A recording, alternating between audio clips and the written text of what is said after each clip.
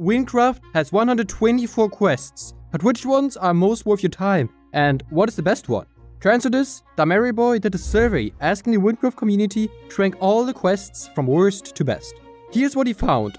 The average quality of the quests increase as you level up in game. According to the survey, the lowest rated quests are Elemental Exercise, Cook Assistant, and the very worst, Lost Tower. All quite low level quests. But don't worry, it's not all bad news. There are some seriously awesome quests out there too. Coming in at number 5 is a Hunter's Calling, the last quest in the game.